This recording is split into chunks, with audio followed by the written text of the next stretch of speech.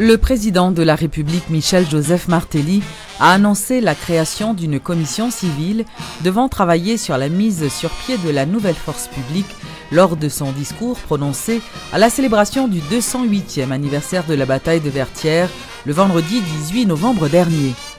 Cette commission a pour mission d'étudier l'opportunité, le calendrier, le profil et la philosophie des nouvelles forces armées d'Haïti. Elle devra également se pencher sur l'effectif de la nouvelle armée, ses sources de financement et le rôle qui lui sera dévolu dans la surveillance environnementale et frontalière, dans la lutte contre la contrebande et le trafic des stupéfiants. Le président Martelly accorde 40 jours à la commission civile pour ce travail préliminaire. Il promet d'annoncer aux Haïtiens la feuille de route de création de la nouvelle force publique le 1er janvier 2012, jour de l'indépendance. L'arrêté nommant la commission doit être rendu public ce lundi. Cette démarche s'inspire bien évidemment du souhait largement exprimé par les populations d'un retrait progressif de la MINUSTA et d'une corrélative prise en charge par l'État haïtien des fonctions essentiellement militaires remplies jusqu'ici par la force onusienne. Cette décision ne met nullement en question notre détermination première et constante de renforcer la police nationale, de travailler à sa professionnalisation et à l'équipement moderne de ses unités spécialisées. Mes chers compatriotes, en ce 18 novembre, une date inscrite au cinquième alinéa de l'article 275-1 de la Constitution en vigueur comme le jour des forces armées, j'annonce à la nation haïtienne et au monde entier la création d'une commission civile chargée de donner corps au dossier de la nouvelle force de défense de la République d'Haïti.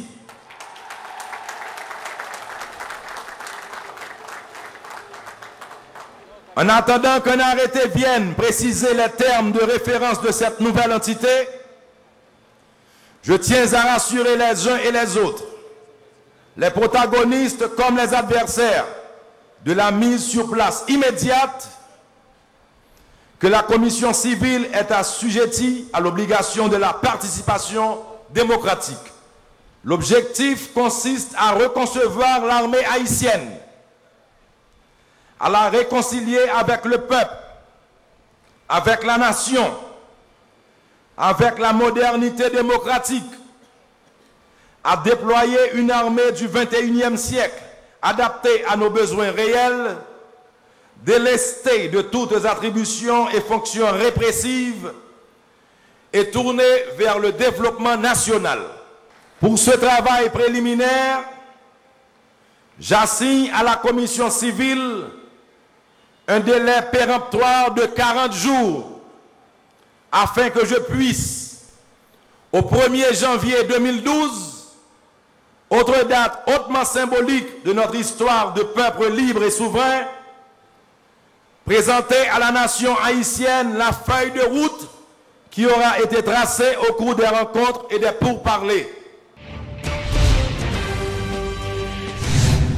L'ancien général Acédius Saint-Louis a salué la décision du président de la République de créer une commission civile devant travailler sur la constitution de l'armée. L'ex-haut gradé a par ailleurs pris la défense des forces armées d'Haïti, qui est souvent accusée d'avoir commis des exactions. L'armée qui était là, il avait deux rôles, le rôle de police et le rôle de, militaire forces armées. Les noms dit l'armée, nous est euh, infanterie, nous est blindé, nous est aviation, nous est corps de génie, nous est service de santé, tout ça c'est l'armée, ce sont les forces armées. Donc sou, pren le fos arme global, ou pa ka di mbe kon maspine moun, ou kapap pran e, e, e, lieutenant ki fe bay ki, ki pa sa, men regleman la pou juje li. Men le fos arme, si l maspine moun nan la ou, ki eski mette nan la ou? Se le chef de l'exekutif, se li ki mette nan la ou, ki eski, e, e, e, pou de rezon motive. Alors, l'arme ki vin la kounye a, l'arme etranjèr ke kapit kapitan apijize servis li, pas une occasion pour les servir autrement. Il pas servir que la police que lui avec lui c'est bon l'autre Les responsables du mouvement chrétien pour la nouvelle Haïti, le Mocrena, ont également accueilli favorablement la décision du président Martelly de mettre sur pied une commission civile devant réfléchir sur la constitution de l'armée. Cette formation politique plaide en faveur d'une armée professionnelle. Nous toutes dans Mocrena, nous estimons que pays a besoin de l'armée. Mais il faut que ce soit une armée professionnelle fonction armée qui a au service de la nation tout entière.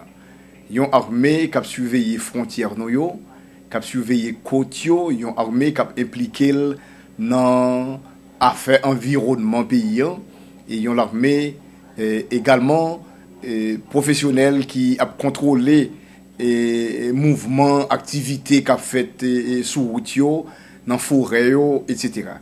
Se pa yon orme ki tatwe fet an katimini, an batab, kom si il sajise de yon bagay personel.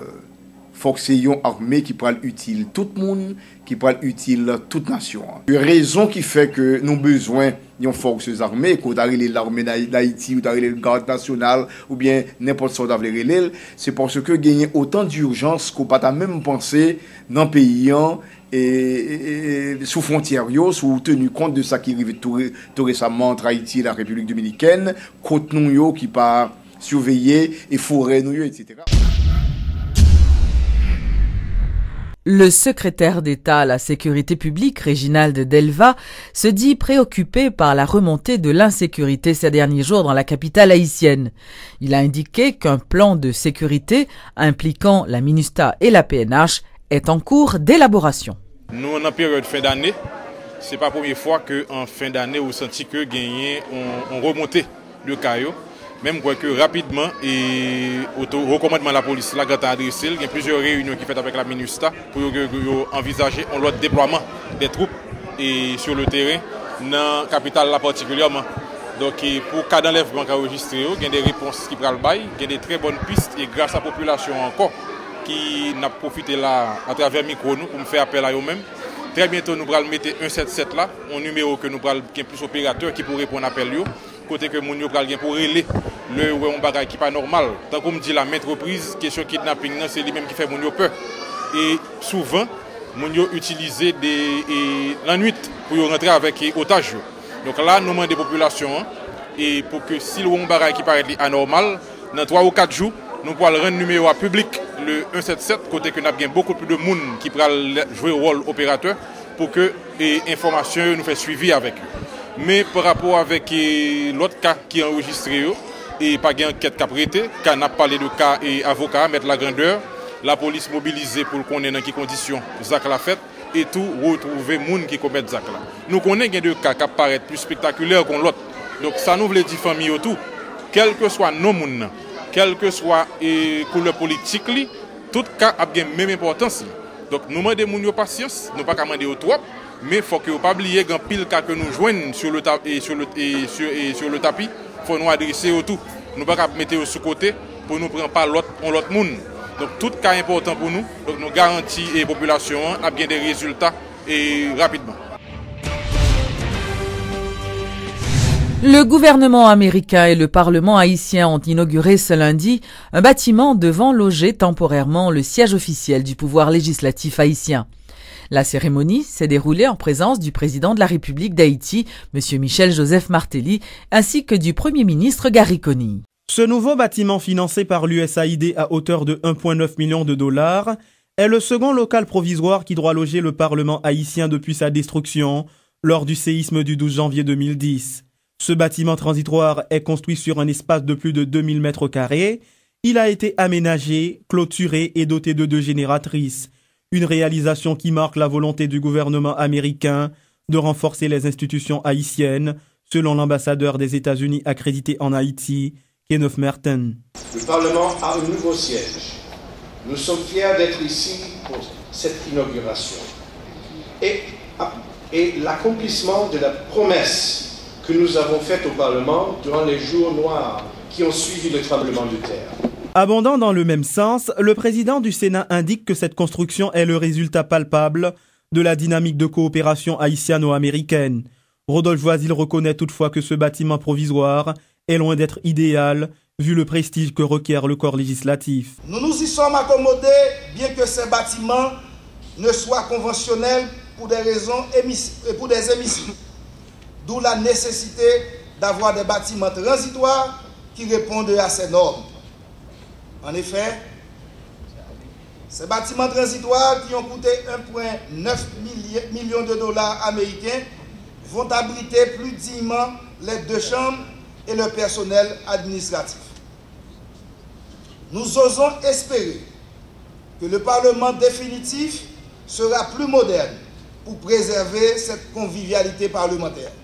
Prenant la parole à titre d'émanation directe du Parlement, le Premier ministre Gary Coney a profité de l'occasion pour annoncer que la reconstruction définitive des édifices publics, dont le palais législatif, s'inscrit dans l'agenda des priorités que s'est fixé le gouvernement. Le processus est donc pleinement engagé et les chantiers prioritaires suivants ont été identifiés. D'abord, la reconstruction du palais législatif, la reconstruction du palais de justice, la reconstruction du palais de la Cour supérieure des comptes et du contentieux administratif, la reconstruction des ministères et du palais de la Direction générale des impôts. Cette priorisation témoigne clairement de la volonté du gouvernement de doter en toute urgence les institutions des moyens indispensables pour qu'ils puissent conduire leurs activités. Rappelons que cette cérémonie d'inauguration du nouveau local devant loger les législateurs s'est déroulé en présence du président de la République, Michel Joseph Martelly, ainsi que plusieurs membres du gouvernement. Plusieurs activités ont été organisées dimanche à l'occasion de la célébration de la Journée internationale des droits de l'enfant. Les responsables du mouvement mondial pour les enfants avaient organisé un colloque autour du thème C'est pas fave wap c'est douanou. Selon le coordonnateur du mouvement, ce thème avait pour objectif d'inciter les autorités à permettre aux enfants de jouir pleinement de leurs droits dans leur communauté.